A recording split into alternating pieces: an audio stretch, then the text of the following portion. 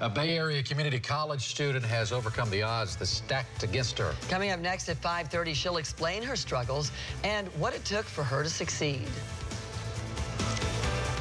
Well, for many college students, the next few weeks will be filled with pomp and circumstance. But it's also a very special time for one college graduate here in the Bay Area. Josh Thomas joins us now live at the Dale Mabry campus of HCC to fill us in. Josh. Well, good evening, Stacy. A student here at HCC received National Honors reserved for only 20 students in the entire country. And she reached that status after overcoming, quite frankly, an obstacle that was very difficult to overcome she was homeless. Helena Alt is not like most students at Hillsborough Community College. For starters, she's recently been named to USA Today's Community College Academic Team. To see the headline in the newspaper and then to see my picture on their website, on my college's website, it just, I, it feels very surreal.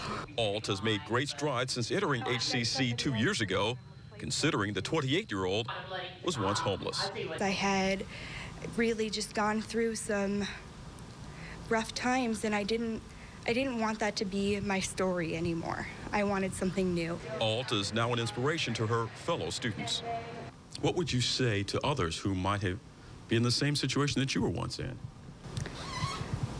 Never give up. The story is never done. It's never over. There's always a tomorrow and there's always even a chance to start your day over. The native of New Jersey was encouraged by friends to come to Florida and HCC, and that has led her to become a member of the college's Honors Institute.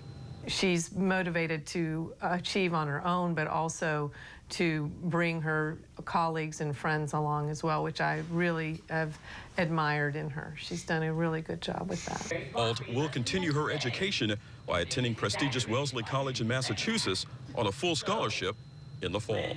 I'll be presented with opportunities that I never, I can't dream of at this point, and I just want to make sure that I continue to take advantage of them all.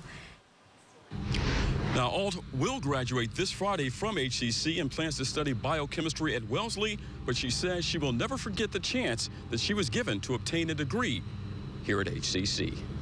Stacy. Great story. Josh Thomas live at HCC. Thank you very much.